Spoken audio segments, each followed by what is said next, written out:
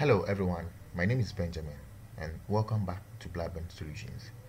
So in today's video tutorial, we will be looking at how to create a perspective text effect using the vanishing point filter effect in Photoshop. And this video is coming up shortly.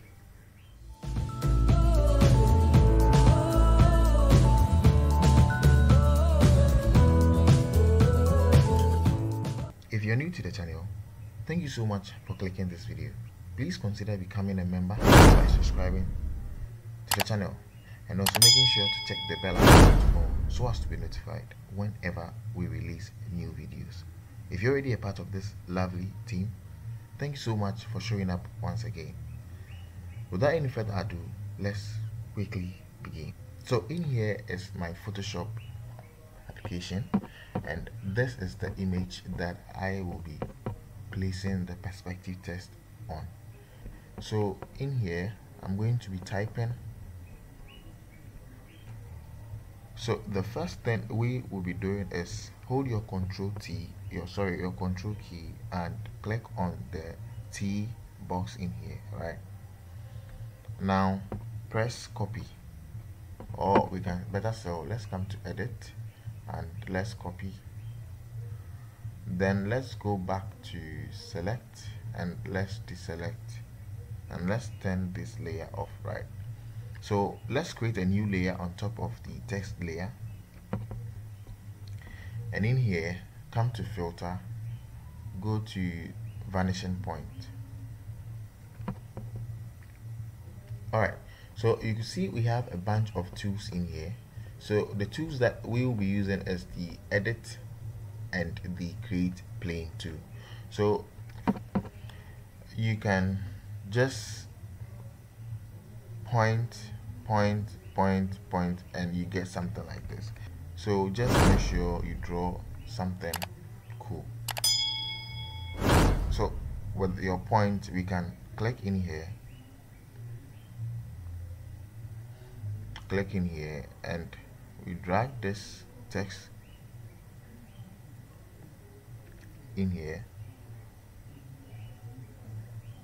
And we have something there. Now if you see a red color it means Photoshop does not accept that perspective okay?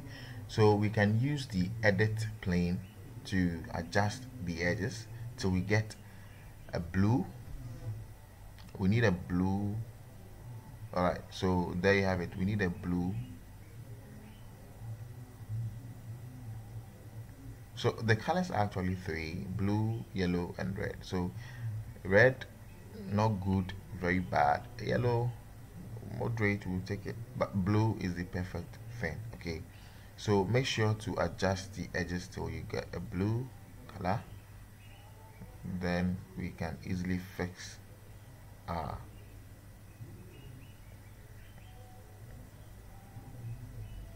all right so when we are done make sure to click anywhere. And now let's paste the layer that we copied by pressing ctrl v. So ctrl v to paste this. So we can use the transform tool ctrl t that is a shortcut to either scale this big or small depending on how it fits the plane here. So after we are done scaling we can easily move the text and place it in here. Okay but in here you can see that it is very big.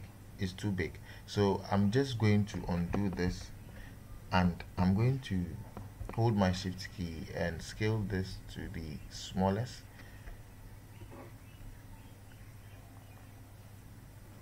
It is still big. So actually i don't know what happened but there you have it. So okay. So it seems what what uh, the text is too huge i'm going to undo this and let's click ok in here. So i'm going to be deleting this text right? Then i'm going to create a new. So we after placing this text here what we'll be doing is uh, creating a new layer on top of this text. But before we begin or before we create the layer on top of this text let me quickly adjust uh, a little bit portion here. All right so till we meet again. I like this. Then hold your control key and press the t icon in here. And we have this. So let's go back to edit and let's copy. Go to select and let's deselect this and let's turn this layer off. Okay so now we can create a new layer on top of the type 2 the type layer sorry. Then in here we we we would continue with our vanishing point. All right so we still have this in here. So we are going to paste this this way.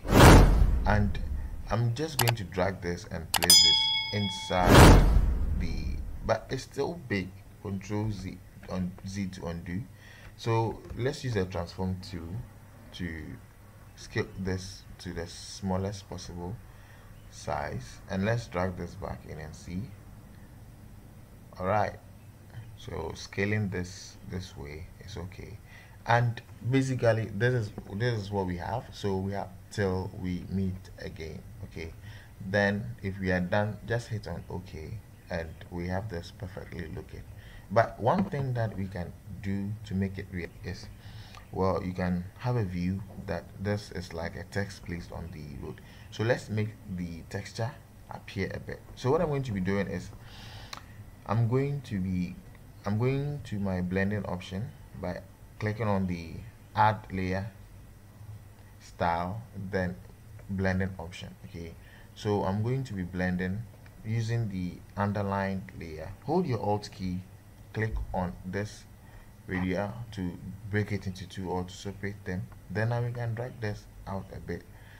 So let's see what happens. And you can see it's like we have the road or the texture of the road appearing on the text okay? So this is how we want it to be so let's shift this a bit and okay so something like this is okay and perfectly we are done with it. So this brings us to the end of today's video tutorial. I believe you learned something in here. If you did please do well to give this video a thumbs up by liking it and also making sure to subscribe to the channel if you have not done so. So let me know what you think of this video in the comment box below until i come your way next time it is still Blaben solutions and see you in the next video